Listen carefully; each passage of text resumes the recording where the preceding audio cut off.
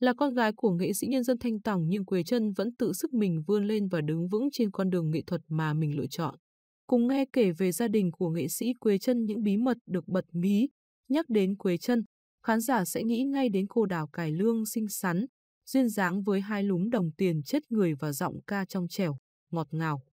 Với những đóng góp không ngừng vì sự phát triển của bộ môn nghệ thuật truyền thống trong năm qua, chị đã được thành đoàn thành phủ bầu chọn làm một trong năm công dân trẻ tiêu biểu của thành phố.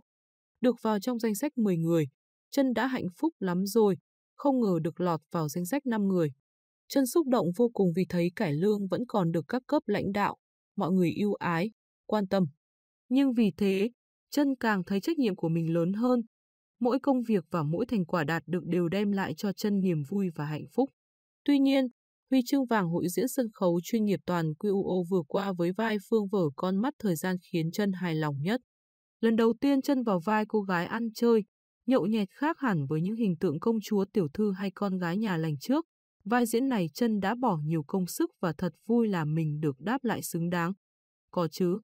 Đó là khi chân nhận giải thưởng Trần Hữu Trang năm 1990 chân 18 tuổi, chân đã khóc ngay tại nhà hát Hòa Bình. Lúc đó, bạn bè, người thân chia sẻ nhiều và chân càng khóc nhiều hơn.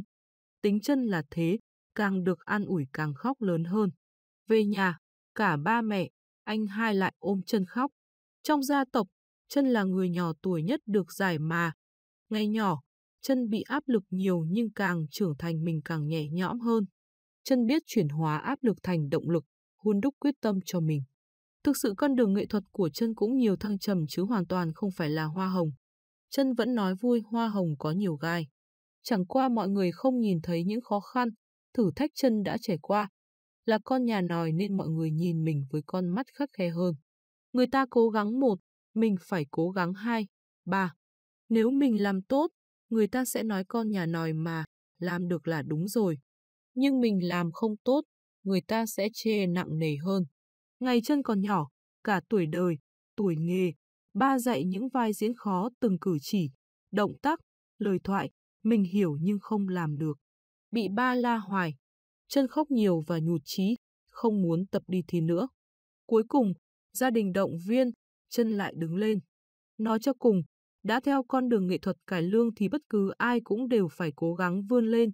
Chân may mắn là nghệ sĩ trẻ được xã hội quan tâm không những khán giả mộ điệu cải lương mà những khán giả ở những ngành nghề khác cũng biết đến hoạt động của chân. Những điều chân ấp ủ dễ dàng được hỗ trợ vì các nhà tài trợ tin tưởng mình. Chân rất biết ơn những người đã tạo điều kiện cho chân thực hiện ước mơ của mình. Thực ra quan hệ rộng cũng là từ hình ảnh của mình Lam tỏa ra. Nếu mình chỉ khéo léo trong giao tiếp chưa chắc đã tạo được sự tin tưởng của người khác. Quan trọng nhất là mình đã làm được những gì, đóng góp được những gì cho nghề nghiệp của mình, cho xã hội. Từ đó, các nhà tài trợ nhìn thấy, mới dám tin vào mình. Còn nói về khéo léo, thiếu gì người khéo hơn chân.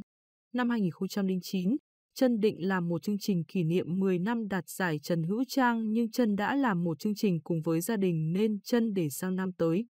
Ngoài ra, Trân sẽ cố gắng kết hợp với các đài truyền hình để đưa cải lương đến với đông đảo khán giả hơn.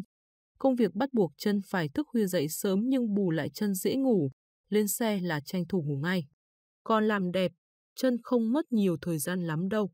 Da mặt chân khá dễ chịu nên chân chỉ thực hiện các bước dưỡng da cơ bản thôi. Chân cũng không phải tới các spa chăm sóc da mặt.